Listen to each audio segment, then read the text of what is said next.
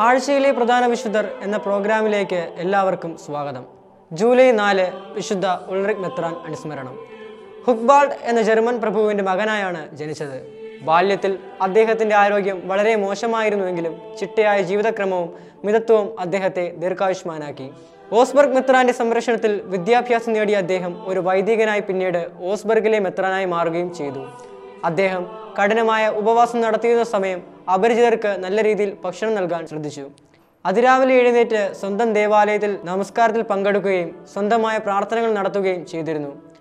പള്ളിയിലെ കാര്യങ്ങൾക്കെല്ലാം ശേഷം ആശുപത്രിയിലും വൃദ്ധസദനങ്ങളിലും പോയി രോഗികളെ ആശ്വസിപ്പിച്ചിരുന്നു. എല്ലാ ജോലികൾക്കും ശേഷം സമയം കണ്ടെത്തി രൂപത മുഴുവനും അദ്ദേഹം സന്ദർശിച്ചു. വിശുദ്ധ അംബ്രോസിന്റെ കത്തീഡ്രൽ യഥാവധി പുനർനിർമ്മിക്കുന്നതിനായി പരിശ്രമിച്ചു. എല്ലാ കാര്യങ്ങളിലും ദൈവത്തിൽ ആശ്രയിച്ചുകൊണ്ട് നിർവഹിക്കുന്നവർ ഒരിക്കലും ലജ്ജിതരാകില്ല എന്ന് തെളിയിക്കുന്നതായിരുന്നു ഉൾറിക് മെത്രാന്റെ ജീവിതം. ജൂലൈ അഞ്ച് വിശുദ്ധ ആന്റണി സക്രിയ അനുസ്മരണം. ബെർണബൈറ്റ്സ് എന്ന സഭയുടെ സ്ഥാപകനായ ഫാദർ ആന്റണി മരിയ സക്രിയ ഇറ്റലിയിലാണ് ജനിച്ചത്. ഇരുപത്തിരണ്ടാമത്തെ വയസ്സിൽ ഫിഷഗുര പരീക്ഷയെ ജനിച്ച് ദരിദ്രരുടെ ഇടയിൽ ജോലി ചെയ്തുകൊണ്ടിരിക്കുമ്പോൾ തന്നെ വൈദിക പഠനം നടത്തി ഇരുപത്തെട്ടാമത്തെ വയസ്സിൽ വൈദികനായി. സന്യാസികളുടെയും വൈദികരുടെയും ജീവിത നവീകരണമായിരുന്നു അദ്ദേഹത്തിന്റെ മുഖ്യ ലക്ഷ്യം.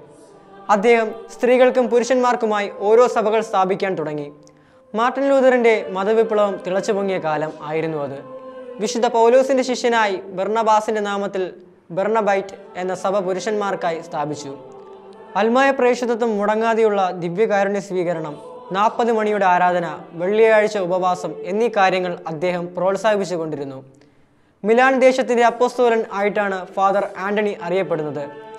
ഒരു കുരിശുരൂപം കയ്യിൽ പിടിച്ചുകൊണ്ട് കർത്താവിന്റെ പീഡാനുഭവത്തെപ്പറ്റിയും അനുതാപത്തെപ്പറ്റിയും തെരുവുകളിൽ ചുറ്റി നടന്ന് അദ്ദേഹം പ്രസംഗിച്ചിരുന്നു.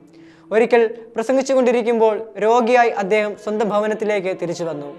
അവിടെ അമ്മയുടെ ശുശ്രൂഷകൻ സ്വീകരിച്ച് മുപ്പത്താറാമത്തെ വയസ്സിൽ ദിവംഗതനായി. ജൂലൈ ഒമ്പത് വിശുദ്ധ വേറോണിക്ക ജൂലിയാനി ഇറ്റലിയിലാണ് ജനനം. ഉർസുല എന്നായിരുന്നു ജ്ഞാനസ്നാന നാമം പതിനൊന്നാം വയസ്സ് മുതൽ ദൈവമാതാവിനോടും കർത്താവിന്റെ പീഡാനുഭവത്തോടും പ്രത്യേക ഭക്തി അർപ്പിച്ചിരുന്നു. ചെറുപ്പം മുതൽ കന്യാസ്ത്രീയാകാൻ ആഗ്രഹിച്ചിരുന്ന അവളോട് പിതാവ് വിവാഹകാര്യം തിരക്കിയപ്പോൾ എതിർപ്പ് പ്രകടിപ്പിച്ചു. മാത്രമല്ല അന്ന് മുതൽ ഒരു രോഗിയായി മാറാനും തുടങ്ങി. ഇതറിഞ്ഞ ഉടൻ തന്നെ പിതാവ് കന്യാസ്ത്രീയാകാൻ അനുമതി നൽകി. അവൾ ക്ലാര മഠത്തിൽ ചേർന്നു. പീഡാനുഭവത്തോടുള്ള ഭക്തി പ്രഹർഷത്താൽ അവൾ വേറോനിക്ക എന്ന നാമം സ്വീകരിച്ചു.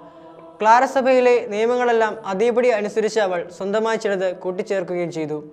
ആയിരത്തി അറുന്നൂറ്റി എഴുപത്തെട്ടിൽ വ്രത വാഗ്ദാനം ചെയ്തപ്പോൾ കർത്താവ് കുരിശു വഹിക്കുന്ന ഒരു കാഴ്ച ഉള്ളിലുണ്ടായെന്നും ഹൃദയത്തിൽ ഒരു കുരിശു പതിഞ്ഞു കിടപ്പുണ്ടെന്നും അവൾ പറഞ്ഞു.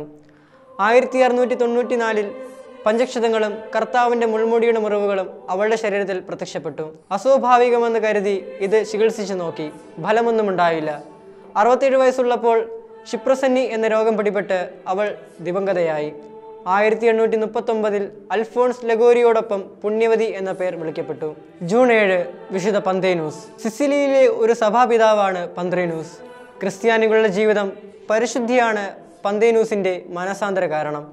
അപ്പോസ്തര ശിഷ്യന്മാരുടെ കീഴിൽ വേദപുസ്തക പഠനം നടത്തി. പ്രവചനങ്ങളും സുവിശേഷങ്ങളും വ്യാഖ്യാനിക്കാൻ തുടങ്ങിയതോടെ അദ്ദേഹം വളരെ പ്രശസ്തനായി. ഒരിക്കൽ ഇന്ത്യക്കാർ പന്തേനൂസിനെ ബ്രാഹ്മണരോട് വാദപ്രതിവാദം നടത്തിയതിന് ക്ഷണിച്ചു. വിശുദ്ധ പന്തേനൂസ് ഇന്ത്യയിൽ വന്നപ്പോൾ അവിടെ വിശുദ്ധ മത്തായുടെ സുവിശേഷത്തിന്റെ ഒരു പ്രതി ബർത്തുലോമിയ സ്ലിഹ കൊണ്ടുവന്നതായി പറഞ്ഞു കേട്ടു. അവിടെ കുറെ നാൾ പഠിപ്പിച്ച ശേഷം അദ്ദേഹം അലക്സാണ്ട്രിയിലേക്ക് ആ ഗ്രന്ഥം മടക്കിക്കൊണ്ടുപോയി വിശുദ്ധ ജീവിതം നയിച്ചിരുന്ന പന്തേനൂസ് അവസാന നാളുകൾ എത്യോപ്യയിലാണ് ചിലവഴിച്ചത്. ജൂലൈ ആറ് വിശുദ്ധ മരിയ ഗുരേറ്റി രക്തസാക്ഷിത്വം. ഇറ്റലിയിലെ ഒരു ദരിദ്ര കർഷകന്റെ മകളായിട്ടാണ് മരിയ ഭൂജാതയായത്. പള്ളിക്കൂടത്തിൽ പഠിക്കാൻ സാധിക്കാത്തതിനാൽ എഴുത്തും വായനയും അറിഞ്ഞുകൂടായിരുന്നു. മരിയായ്ക്ക് ഒൻപത് വയസ്സുള്ളപ്പോൾ പിതാവ് നെട്ടൂണിയയിലേക്ക് പോന്നു. പത്താമത്തെ വയസ്സിൽ പിതാവിന്റെ മരണശേഷം മരിയ താമസിച്ചിരുന്ന ആ മാളികയിൽ തന്നെ ധനികരായ സെർണല്ലി കുടുംബത്തിലെ ഒരു ജോലിക്കാരിയായി മാറി മരിയയുടെ അമ്മ അസൂന്ത. മറ്റെല്ലാ കുട്ടികളെക്കാളും ശാരീരിക വളർച്ചയും സൗന്ദര്യവും ഉണ്ടായിരുന്ന മരിയയെ അലക്സാൻഡ്രോ സെറനെല്ലി പാപത്തിന് ക്ഷണിച്ചു. അവൾ ചെറുത്തു നിന്നു. അവൾ നിന്റെ അമ്മയോട് വിവരം പറഞ്ഞിട്ട് ഇങ്ങനെ കൂട്ടിച്ചേർത്തു അമ്മേ എന്റെ ശരീരം കഷ്ണം കഷ്ണമായി മുറിക്കുകയാണെങ്കിൽ കൂടി ഞാൻ പാപം ചെയ്യുകയില്ല. ഒരിക്കലും ഒരു ജൂലൈ മാസത്തിലെ ചൂടുള്ള ഒരു സായാഹ്നത്തിൽ മരിയ ഒരു കട്ടിലിൽ തയ്ച്ചുകൊണ്ടിരിക്കുമ്പോൾ അലക്സാണ്ട്രോ മരിയയെ പാപം ചെയ്യാൻ നിർബന്ധിച്ചു. ഞാൻ വഴങ്ങുകയില്ല മരിക്കുകയുള്ളൂ അവൾ നിലവിളിച്ചു. ഇല്ല ദൈവം അത് ഇഷ്ടപ്പെടുന്നില്ല അത് പാവമാണ് നീ നരകത്തിൽ പോകും. അലക്സാണ്ട്രോ തന്റെ കുപ്പായത്തിൽ ഒളിപ്പിച്ചു വെച്ചിരുന്ന കടാരയെടുത്ത് പതിനാല് പ്രാവശ്യം മരിയെ കുത്തി. വിവരമറിഞ്ഞ അമ്മ ഓടി സ്ഥലത്തെത്തി. വൈദികനെ വിളിച്ചു. മരിയ കുമ്പസാരക്കാരനോട് പറഞ്ഞു ഞാൻ അലക്സാണ്ട്രയോട് ക്ഷമിക്കുന്നു. ഒരിക്കൽ അയാൾ മാനസാന്തരപ്പെടും. ഇരുപത്തിനാല് മണിക്കൂറിന് ശേഷം മരിയ ആശുപത്രിയിൽ വെച്ച് മരിച്ചു. ഘാതകന് മുപ്പത് വർഷത്തെ ജയിൽ ശിക്ഷ കിട്ടി. ഇരുപത്തിയേഴ് വർഷത്തെ ജയിൽവാസത്തിന് ശേഷം പുറത്തുവന്ന അലക്സാണ്ട്ര അമ്മ അസുന്ദയോട് മാപ്പ് ചോദിച്ചു ഒരു സന്യാസഭയിൽ അംഗമായി ചേർന്നു ആയിരത്തി തൊള്ളായിരത്തി അമ്പതിൽ പന്ത്രണ്ടാം പിയൂസ് മാർപ്പാപ്പ വിശുദ്ധ പത്രോസിന്റെ അങ്കണത്തിൽ വെച്ച് മരിയ ഗുരോറ്റിയെ അനുഗ്രഹീത എന്ന് വിളിച്ചപ്പോൾ അലക്സാണ്ട്രോ അവിടെ മുട്ടുകുത്തി നിന്നു. കൂടെ അമ്മ അസൂന്തയും ഉണ്ടായിരുന്നു. വിശ്വാസത്തിന് കുറവ് വരുത്താതെ പരിശുദ്ധ ജീവിതം നയിച്ച മരിയ വിശുദ്ധയായി. ജൂലൈ എട്ട് വിശുദ്ധ വിത്ബുർഗ ഈസ്റ്റ് ആംഗ്ലിസിലെ രാജാവായ അന്നാസിന്റെ ഇളയ പുത്രിയാണ് വിത്ബുർഗ ചെറുപ്രായം മുതൽ ജീവിതം നയിക്കാൻ അവൾ ഇഷ്ടപ്പെട്ടു. പിതാവിന്റെ മരണശേഷം നോർഫോൾക്കിൽ അജ്ഞാതമായ ഒരു മുറിയിൽ ഏകാന്തമായി താമസിക്കാൻ തുടങ്ങി. പിന്നീട് വേറെ കന്യകമാരും അവിടെ വന്നു ചേർന്നു. അവിടെ ഒരു മടവും പള്ളിയും പണിയിക്കാൻ അവൾ ആരംഭം ഇട്ടു. എന്നാൽ പണി തീരുന്നതിന് മുമ്പ് അവൾ തന്റെ മണവാളന്റെ സൗദത്തിലേക്ക് പോയി. ദർഹം സെമിത്തേരിയിൽ ശരീരം സംസ്കരിച്ചു. അമ്പത്തഞ്ച് വർഷം കഴിഞ്ഞിട്ടും ആ ശരീരം അഴുകാതെ കാണപ്പെട്ടതിനാൽ പള്ളിയിലേക്ക് മാറ്റി സ്ഥാപിച്ചു.